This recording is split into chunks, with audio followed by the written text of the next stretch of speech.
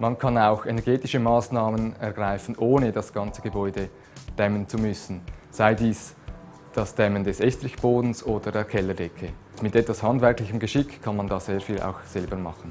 Wenn die Gebäudehülle einmal gedämmt ist und die Fenster ersetzt sind, gilt es, mit der Haustechnik die restlich benötigte Energie abzudecken. Hier möglichst viel erneuerbare Energien einsetzen.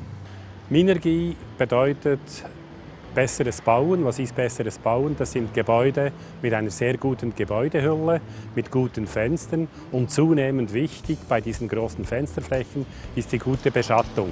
Und natürlich ein Gebäude mit einer hohen Energieeffizienz. Das sind also Gebäude, die fast keine Energie verbrauchen. Beim Einsatz erneuerbarer Energien spielt die Sonne eine wichtige Rolle.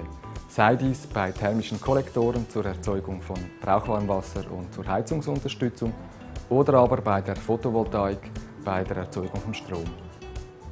Drei Ratschläge zum Schluss. Wird neu gebaut, unbedingt besser bauen, als der Gesetzgeber es vorschreibt. Beim Neubau und beim Umbau ist unbedingt eine Komfortlüftung einzubauen für die Optimierung des Wohnkomfortes. Und der Sonnenschutz ist sowohl im Neubau wie auch beim Umbau sehr wichtig.